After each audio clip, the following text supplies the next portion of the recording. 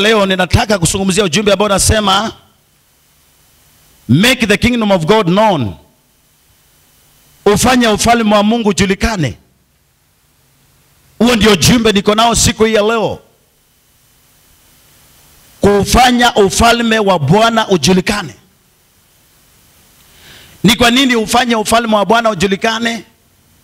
Ni kwa sababu kuna sehemu haujajulikana.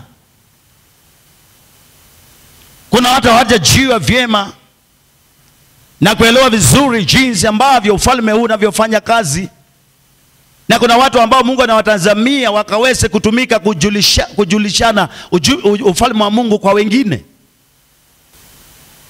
Kuna watu ambao Mungu anatazamia wakaweze kutumika kuweza kuufahamisha ufalme wa Mungu kwa wengine, na ujumbe huu nao nikaupokea ili niulete kwako siku ya leo, ufanye ufalme wa Mungu ujulikane.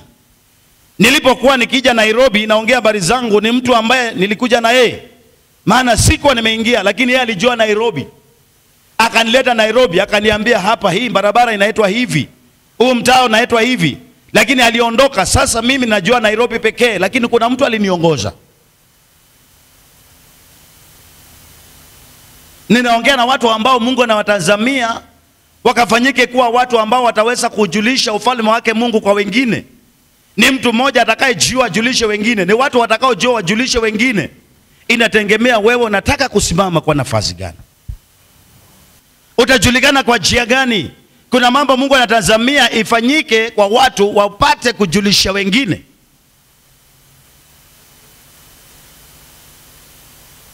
Ninaongea na mtu ambaye ana tamaa hiyo, ana moyo ambao unataka kujua ili awe mjumbe wa wengine. Utakapopatiwa ukumbuke ya kwamba utakapokuwa mtu wa kulisha wengine utaondoka ukiwa na malisho. If you become a person who wants to know to make others know, you will remain to be a person who is aware of what is happening. Praise the name of the Lord Jesus. Ufalme wa Mungu ujulikane duniani, maana duniani imekana aiamini ya kwamba kuna mambo ambayo inaweza fanyika supernatural, mambo ambayo inaweza kuonekana kutoka mbinguni, ambayo si ya kawaida, sio mahesabu ya lawyers, sio mahesabu ya daktari, sio mahesabu ya walimu, sio mahesabu ya watu ambao wana akili tofauti za masomo, mambo ambayo haijulikani, lakini yakisema yanaonekana, yanajumuisha, yanajulisha kwamba ni ufalme wa Mungu umetenda jambo hilo katika jina la Yesu Kristo. Bwana anatazamia watu ambao wanaweza tumika, watu ambao wataweza kufahamisha ufalme wake duniani ujulikane kwamba kuna ufalme unaofanya kazi kwa mahesabu tofauti tofauti na dunia. Praise the name of the Lord Jesus. Kwa hivyo ujumbe wa leo andika hapo, anasema make the kingdom of God known and I am going to give you the summary of the points that you need to have in your life that you can know and understand how can you show the kingdom of God in the, on this earth. How can you show that kingdom of God operating on this earth? Because if you are not going to do that, we are going to be controlled by the authority of this earth. But there are areas that we don't need to be controlled by the authorities. We need to receive the authority that is above. In Jesus' name. Praise the name of the Lord Jesus. Mark 4. Nataka tuanzie aya yake ya 30 I say verses 30 to 40. Tena Yesu akasema tufananishe ufalme wa Mungu na nini? Tueleze kwa mifano gani? Ni kama mbegu ya aradari ambayo ni ndogo kuliko mbegu zote, lakini kisha kupandwa uota na kuwa mmea mkubwa kuliko mimea yote ya shambani. Matawi yake huwa makubwa, hata ndege wa angani hawawezi kujenga viota vyao katika kivuli chake. Yesu aliwahubiria ujumbe wake kwa mifano mingi, kwa mifano mingine mingi ya namna hiyo.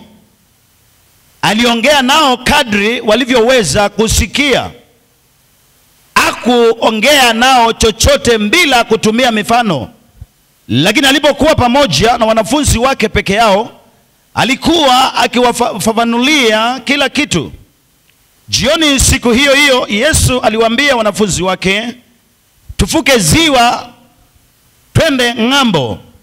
Basi wakauacha ule umati wa watu, wakamchukua Yesu katika mashua alimokuwa. Vile vile mashua nyingine zilimfuata. Basi dhoruba kali ikaanza kufuma, mawimbi yakapiga yakaipiga ile mashua hata ikaanza kujaa maji. Yesu alikuwa sehemu ya nyuma ya mashua amelala juu ya mto, uh, juu ya mto. Basi wanafunzi wakamwamsha na kumwambia, Mwalimu, je, ujali kwamba sisi tunaangamia? Basi akaamuka akaukemea ule upepo na kunyamazisha mawimbi ya ziwa, kimya, tulia. Hapo upepo ukakoma, kukawa swari kabisa. Uh, kisha Yesu akawaambia wanafunzi wake, mbona mnaongopa? Je, bado hamna imani? Nao wakaongopa sana, wakawa wanaulizana, huyu ni nani basi hata upepo na mawimbi vinamtii? Praise the name of the Lord Jesus. Mathayo 15 inasema hivi, mstari ule wa kwanza hadi 19.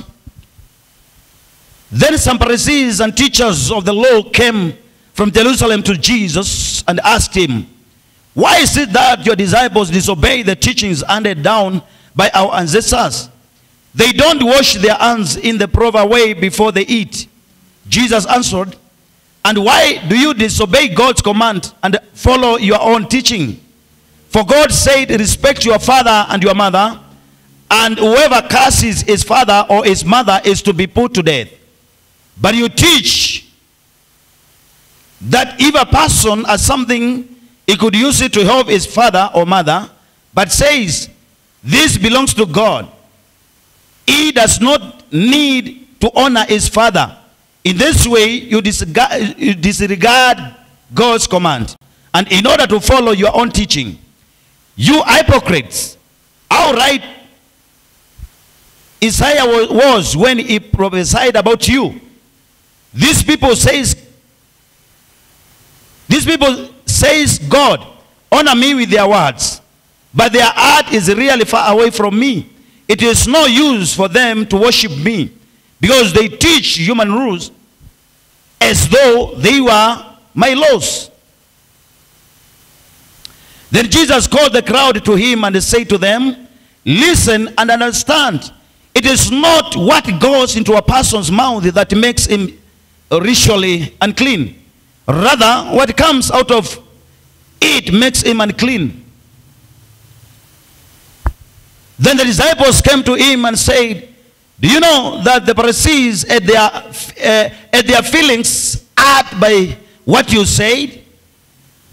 Every plant which my Father in heaven did not plant will be pulled up.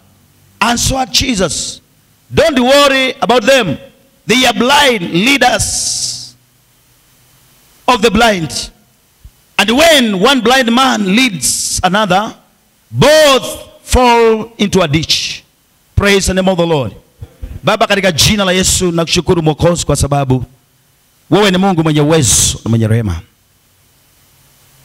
Roho Mtakatifu wa Mungu, ninakualika ukatumie kinywa changu kwa ajili ya kuweza kuachilia ujumbe huu, kaweze kufikia kila mmoja uliyekusudia Bwana kupokea na kubadilishwa na ule ujumbe katika jina la Bwana.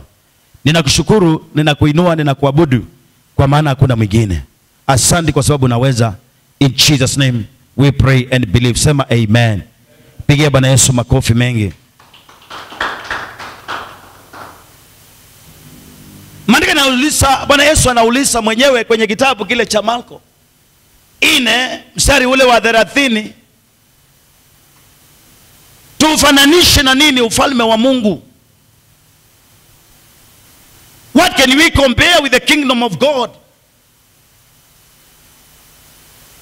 When I see this question, it makes me think deeper. It makes me think deeply to see. I tend to think and I think it is true that Jesus was talking to the people who do not believe that there's kingdom of God. And so he want to make them understand that this power they might not they might not be able to see, they might not be able to believe, but there is a power that can be able to change the things which looks like they cannot be changed. Praise the name of the Lord Jesus. Maana nasema akauliza tufananishe na nini ufalme wa Mungu? Akasema ni kama mbengu iliyo ndogo zaidi kuliko mbengu zote zinazojulikana, lakini inaweza ikapandwa ikaanza kuzaa ikatoa mmea mkubwa zaidi kuliko mimea yote iliyojulikana. Iye ni ufalme wa Mungu, ni ule ambao unaweza kuwa haujulikani na watu wengi, lakini una, inaweza kujulikana na mtu mmoja ambaye haonekani kama ni mtu wa maana, akaleta mabadiliko ya kushangaza watu wengi katika jina la Yesu Kristo mwana wa Mungu aishiye milele. Pigie Bwana Yesu makofi mengi.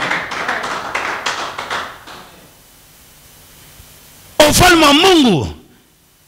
Ni mbingu iliyo ndogo ambayo haionekani, lakini inaweza kupandwa ikatoa mmea mkubwa ambao matawi yake haiwezi kujengwa viota na ndege. Nasema katika jina la Yesu, naongea na mtu ambaye amezaliwa katika nyumba ya taabu, ya mateso, ya haibu, ambayo haionekani kitu kizuri ambacho kinaweza kuonekana pale, lakini kuna mtu ambaye akija kuweza kupokelewa na ufalme wa Mungu ataleta mambo makubwa ambayo haikuwahi kuhesabiwa kuonekana kwa ile nyumba katika jina la Yesu Kristo. Nasema ufalme wa Mungu unaweza kubadilisha hali iliyopuuzwa, hali iliyo mbaya, watu wakashangaa vile ilivyo katika jina la Yesu Kristo. Yesu akasema ni mbengo ndogo, na leo katika jina la Yesu ninaongea na mtu ambaye anaona ni kama kwake kuna lahana, nikwambie kuna mbengo inaenda kupandwa ndani yako leo jina la Yesu Kristo, ambaye inasema laana ondoka, na panda baraka ambazo hazionekani na macho, lakini zitaanza kuja polepole, pole, zitaanza kujaa polepole pole katika jina la Yesu Kristo. Pigie Bwana Yesu makofi na shangwe na vigelegelegele kwa Yesu, in the name of the Lord Jesus. It is the smallest thing that you can ever, you cannot even see. It is the smallest thing that you cannot even believe in it. But when it is planted in the life of someone, things begin to grow. Life begin to expand. Things begin to grow in the name of the Lord Jesus. Nasema ikija kuingizwa kwa maisha ya mtu, anaanza kubadilika, anaanza kunona, anaanza kuinuliwa, anaanza kubarikiwa, anaanza kufanikiwa, anaanza kuinuliwa katika jina la Yesu Kristo, in the name of the Lord Jesus. Piga Yesu makofi mengi. Najua wengine wanaamini unaweza ukafanikiwa kwa sababu baba yako alikuwa na mali na kwa sababu umezaliwa kwenye mboma iliyo na mali, hivyo ndivyo kulingana mahesabu ya wanadamu ilivyo. Nasema hapana, mbegu la neno la Mungu likipandwa kwako, baba yako alikuwa maskini, utakuwa tajiri. Baba yako alikuwa ameshindwa, utainuliwa katika jina la Yesu Kristo. Pigie Bwana Yesu makofi na shangwe na vigelegele. Praise the name of the Lord pale nyumbani naongea na wewe nikwambie yesu akasema ni mbegu dogo ya ladari ambayo inaweza ikapandwa shimo yake ni ndogo sana mahali imepandwa hakuna mtu ataona hapo.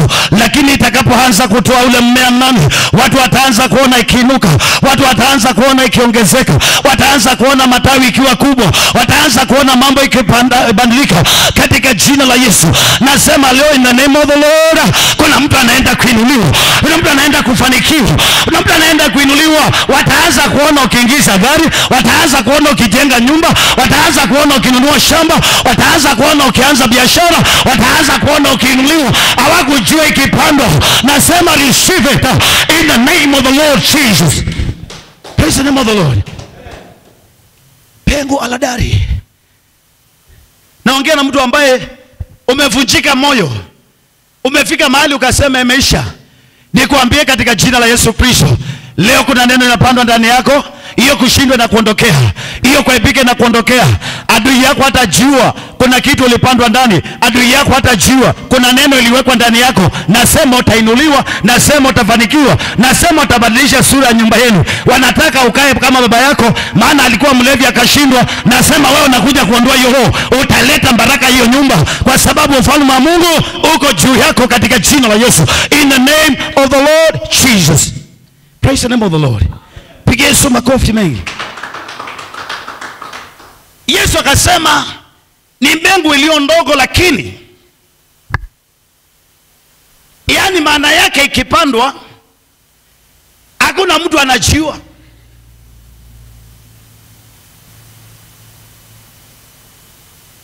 Ayayayaya, yaani hiyo neno ikisemwa ni kama watu wanaitia maanani, ni mchezo,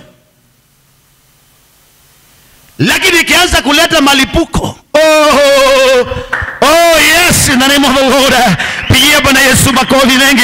Nasema leo kuna mtu anaenda kubadilisha maisha yake. Kuna mtu ambaye utaonekana, watu watashangaa, kale kamtu kalikuwa makamkonde kameanza kunona. Ukioza kameanza kunona, angalia wallet, pesa zimeanza kuingia. Ni mbegu iliyopandwa ya ufalme wa Mungu katika jina la Yesu Kristo. Naongea na mtu ambaye umevunjika moyo, mtu ambaye ulikuwa unaona ya umeufia kwamba maisha yako haiwezi kuendelea. Nikuambie katika jina la Yesu, ufalme wa Mungu unafanya kazi tofauti na ufalme wa ulimwengu huu. Ukisha kupandwa mbegu la Bwana na neno lake kutoka juu mbinguni, nasema kwa jina la Yesu Kristo, ulimwengu utatii njia yako, ulimwengu utatii neno lako, ulimwengu utatii maono yako, ulimwengu utatii bidii yako, ulimwengu utatii mipango yako. Receive it in the name of the Lord Jesus. Sema ya yeah. I want you to listen very carefully now. Let us look at the results of this seed. The moment it begins to sprout out, oh, maandiko nasema matawi yake sio kawaida na mengine, mazao yake sio kawaida na mengine.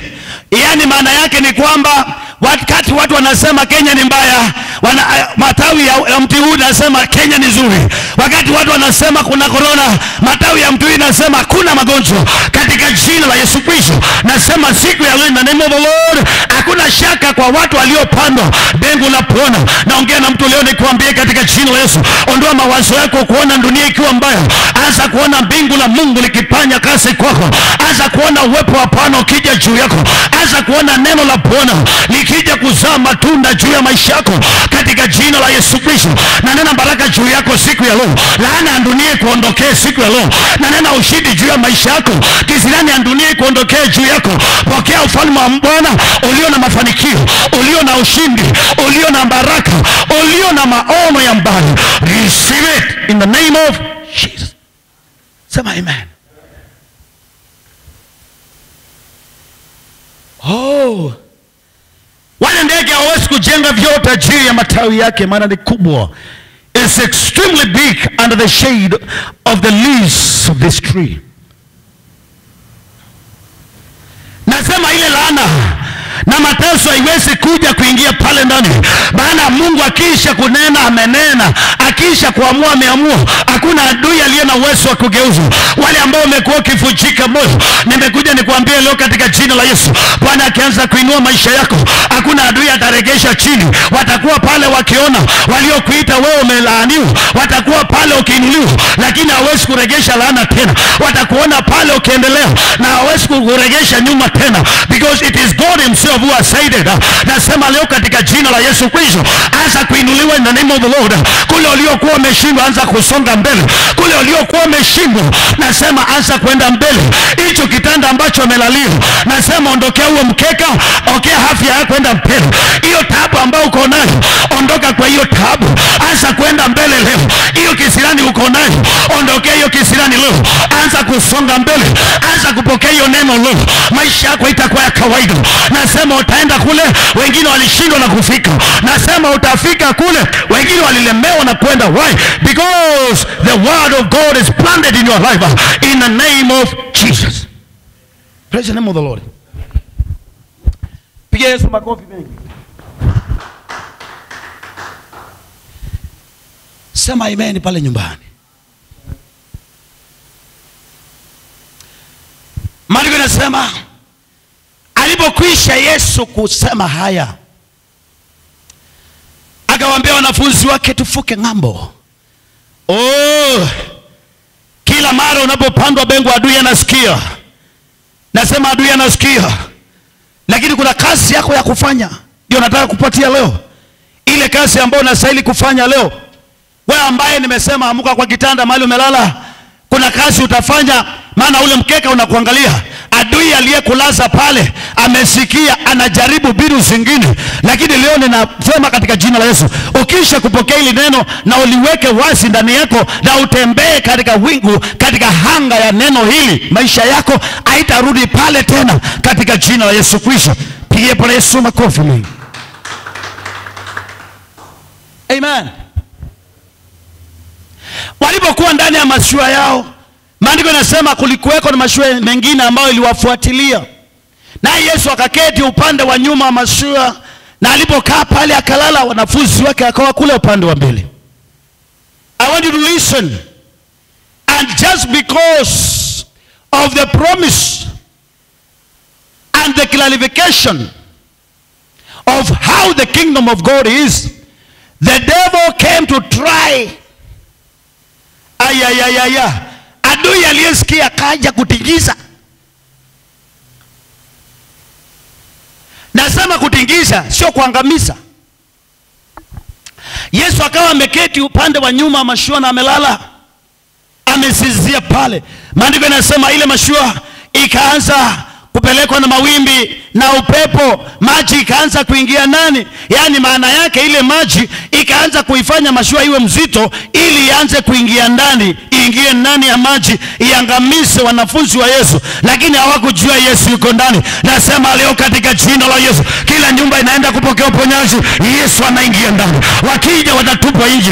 Wakiinua uchawi watatupwa nje. Wakiingia magonjwa watatupwa nje. Maana kuna askari aliye ndani wa ulinzi katika jina la yesu kristo praise the name of the lord jesus. Piga yesu makofi mengi. Nasema wanafunzi wakaona listen to me. Yale mashua yengine hahitaji kwamba ilikuwa inaingia maji ndani. Hey. lakini yako mengine yanavuatilia.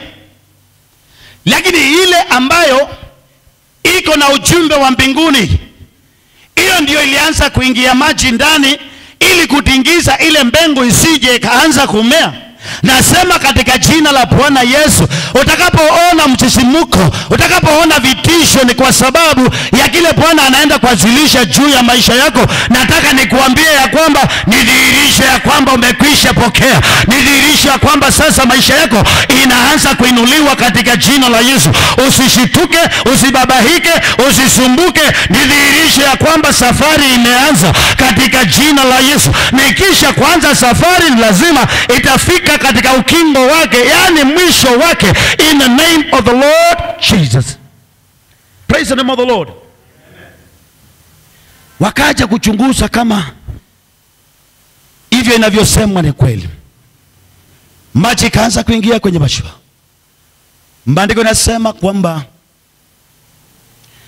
wanafunzi wa yesu akajua oh aliyesema yuko macho ndio amefunga macho lakini bado yuko kazini.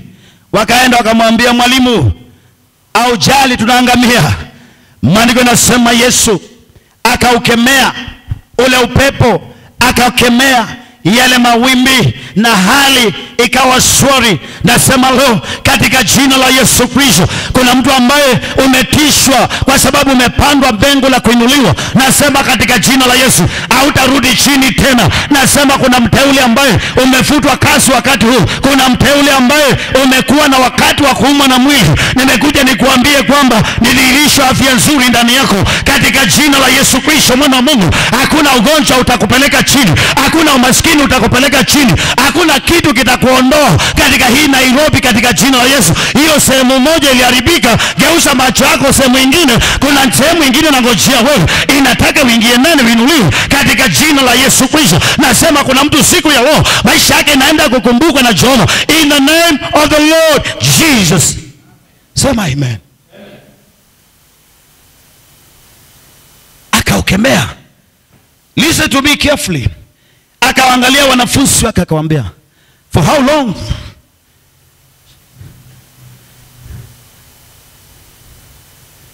Will you live in the life of disbelief? Kwa nini imani yenu imekuwa duni? Nami naongea na wewe mteule ambaye unaimba wimbo. Ni kama wewe haujawahi kutesi kuonja. Utamu wa jehova. Nikwambie hilo jambo moja linakusukuma. Ni yale maji ilikuwa inaingia kwa ziwa lakini mwisho yote alifika ng'ambo. Nasema hiyo ng'ambo unaenda unaenda tu. Usitishwe na hizo vitu za kuinuka katikati. Ni za kudhihirisha kwamba safari inaendelea katika jina la yesu kristo mwana wa mungu. Pigia Bwana yesu makofi mengi. In the name of the lord jesus. Praise the name of the lord. Kitabu cha Mathayo 15 inasema nini? Mathayo 15 verse 1. Kisha Mafarisayo na walimu wa sheria wakafika kutoka Yerusalemu, kisha wale wajuzi wa jerusalemu. Wakamwendea Yesu wakamuuliza, aha. Kwa nini wanafunzi wako hawajali map, mapokeo tulio tuliopokea kwa wazee wetu? simama hapo. Naongea na mtu ambaye anasikiliza ujumbe huu. Hawa ni watu wamekuja kwa yesu kumuuliza maswali kwa sababu wameona jinsi ambavyo wanafunzi wake hawatii maanani vitu ambavyo vimewekwa kulingana na hekima na akili na maarifa ya ulimwengu huu Hawanawi mikono ipasavyo kabla ya kula, hawatendi vitu zile ambazo zinaambatana tamaduni za ulimwengu huu kwa sababu wana sheria ya mbinguni ambayo inawamulika inawafundisha inawaelekeza. Yesu akawajibu, kwa nini nanyi amjali sheria za Mungu ila mnapendelea mapokeo yenu na yesu akawaangalia akawaambia na ni kwa nini nyinyi amjali sheria za aliye juu wa yule ambaye ana uwezo wa kubadilisha yale ambayo mnayaona kama ni ya muhimu ni ya maana? Kuna vitu ambazo watu wameweza kusitia maanani ulimwengu huu ambazo mungu ana uwezo wa kubadilisha nataka unisikilize vizuri kwa sababu ninasema na ubiri nikifundisha. Kwa mfano nataka niongee na mtu ambaye aninitazama sasa hivi. Uone mabadiliko ambayo imeingia katika ulimwengu wote mzima. Kama vile ambavyo watu walivyofikiria ya kwamba kila mtu anaweza kuishi kulingana na maono yake kulingana na vile anavyofikiria kulingana na masomo aliyosoma kulingana na akili aliyo nayo lakini sasa imefika mahali kwamba watu wote wamewekwa kwenye kikapu kimoja. Walio na mali walio masikini walio na masomo hawakusoma wote wako pamoja wale viwete kila mmoja hata wale viwete walikuwa kwa street everyone is scared of one thing. Mungu amesema waheshimu baba yako na mama yako, na anayetukana baba yake au mama yake lazima auawe. ile sheria bwana amepeana. Watu wanataka kuibadilisha ili waweze kutimiza matakwa yao. They want to suit to their own interest everyone wants to do something that is only going to please him but does not care about the creator the one who has brought you who is keeping you alive La, and that is where there's a big question. Lakini nyinyi mwafundisha ati mtu akiwa na kitu ambacho angeweza kumsaidia nacho baba yake au mama yake, lakini akasema kitu hiki nimekitolea Mungu, basi ampaswi tena kumheshimu baba baba yake. Ndivyo mnavyodharau neno la Mungu kwa kufuata mafundisho yenu wenyewe. praise the name of the lord jesus walikuja kwa yesu wakitaka kutafuta mbinu na nia ya kuweza kubadilisha imani ya wanafunzi kubadilisha mafundisho ya yesu kristo wakamuuliza wewe ni kwa nini wanafunzi wako hawataki kutia maanani sheria zile ambazo tuliachiwa na wale babu zetu wale waliotutangulia kule mbele kuna mambo ambayo utayakuta kwenu ambayo ilikuwekwa inafanywa lakini ambatani na sheria ya jehova. Ni lazima uiondokee isije ikakufanya kuwa mfungwa katika maisha yako katika jina la yesu. Kuna mambo utayapata ambayo ilikuwa inafanyika kwa nyumba na boma yenu kwa, kwa, kwa kijiji chenu ambayo hasi mambo ya kumwinua mungu si mambo ya kumwabudu mungu ambayo ilifanyika kwa kufurahisha maroho za watu waliokufa kitambo. Nimekuja nikuambie katika jina la yesu kuna sheria ambazo ukifuatana nazo zitakufanya kuwa mfungwa na ule ufalme wa mungu ninaoongea habari zake na ambao ni mbengu iliyo ndogo inapandwa kuzaa itakosa mahali pa kupandwa kwa sababu yule mchanga umekwisha unganishwa na mchanga uliolaaniwa katika jina la yesu kristo. Pigia bwana yesu makovi na shangwe na vigelegele. Sheria. Some of the people are living under curses because they are still under the chains. Wamefungwa na minyororo ya sheria za mababu. The word of god has never set them free. Today i have come to speak to someone to speak to someone to change your mind to change your way of thinking your way of life to suit the interests of God. And the word of God will begin to activate itself in your life in Jesus' name. Praise the name of the Lord Jesus. Yesu akawauliza swali moja tu, ni kwa nini mnataka kugeuza ufalme wa Mungu kwa njia ya kuleta laana kwa wazazi wenu? Imeandikwa kwamba mheshimu baba yako na mama yako ili upokee baraka na kuishi miaka nyingi. Basi ni kwa nini katikati yenu mtu ajisemee kile ambacho angeweza kumpa kuwapa wazazi wake atapeleka kwa Mungu na mambo itakuwa sawa? No, it, the word of God can never contradict by self. Praise the name of the Lord Jesus. Maandiko yanasema wakahuzunika wale mafarisayo na wale walimu wa sheria wakakasirika. Wanafunzi wakaja mbele za Yesu wakamwambia, unajua kwamba haya mafundisho imekwisha kuwafanya watu hao waingiwe na hasira na wanaweza kuwa wanachukua hatua ingine. Maandiko nasema, Yesu akasema, to kila mti ambao hakupandwa na baba yangu ni lazima unang'olewa katika jina la Yesu. Nasema leo kwa jina la Yesu, chochote ambacho hakikupandwa na baba kwa maisha yako kinaenda kung'olewa baada ya ibada hii. Napoenda kutamatisha leo, chochote kinachofanya kazi katika maisha yako ambacho hakikupandwa na Jehova kinaenda kung'olewa kwa jina la Yesu Kristo, inaenda kung'olewa kwa jina la Yesu. Sema ya in the name of Jesus. Sema amen. Kuna vitu ambazo hazikupandwa na Mungu kwa maisha ya watu. Today in the name of Jesus. Leo kwa jina la Yesu Kristo, wewe unayenisikiliza, unayenitazama, unayenipa masikio yako na macho yako na mawazo yako, inaenda kung'olewa kwa jina la Yesu Kristo. Sema amen. Pigia Bwana Yesu makofi Amen. Kwa nini ing'olewe? Kwa nini ing'olewe? Open your Bible in the book of Hebrews. I want you to see the kingdom that we are serving now. The book of Hebrews 12 verses 28 and 29 nasema nini? Let us be thankful then because we receive a kingdom that cannot be shaken. Let us be grateful and worship God in a way that pleases him with reverence and away with reverence and away because our God is indeed a destroying fire. Kwa Kiswahili Sisi mbazi na tushukuru, kwani tunapokea ufalme usiotingizika. tunapokea ufalme Tuwe na shukurani na kumwabudu Mungu Aha. kwa namna itakavyompendeza, kwa ibada na hofu, maana Mungu wetu kweli ni moto mkali unaoteketeza. Nasema katika jina la Yesu Kristo, chochote kilichopandwa ndani yako na hadui kinang'olewa siku ya leo in the name of the Lord, because the kingdom of God is unshaken. It can never be shaken in the name of the Lord. It's a consuming fire in Jesus name. Chochote kilichokalia maisha yako leo, nasema katika jina la Yesu, kianze kuchomeka, kianze kuchomeka, kianze kuchomeka katika jina la Yesu. Iwe ni umaskini leo, uanze kuchomeka, uanze kuchomeka, uanze kuchomeka in the name of Jesus. Receive it in the name of Jesus. Is a consuming fire. Sema consuming fire. Sema kuanzia leo kitu chochote kinaowakilisha ufalme wa giza kichomeke leo, kichomeke leo, kiteketee leo kwa jina la Yesu. Na kuanzia leo mimi niko huru in Jesus name. Piga Yesu makofi na shangwe na vigelegele. Receive it in Jesus name.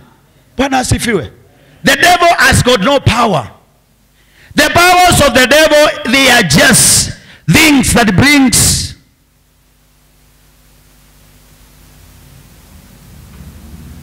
It's just to bring fear. But cannot do anything the moment you realize that God has more power. Bwana asifiwe. Is a consuming fire. Sema consuming fire. Sema kwa sauti consuming fire. Na kuanzia siku ya leo. Sema na kuanzia siku ya leo. Hakuna kitu kinanitia shaka. Kwa sababu ninajua aliye juu yangu ni mkuu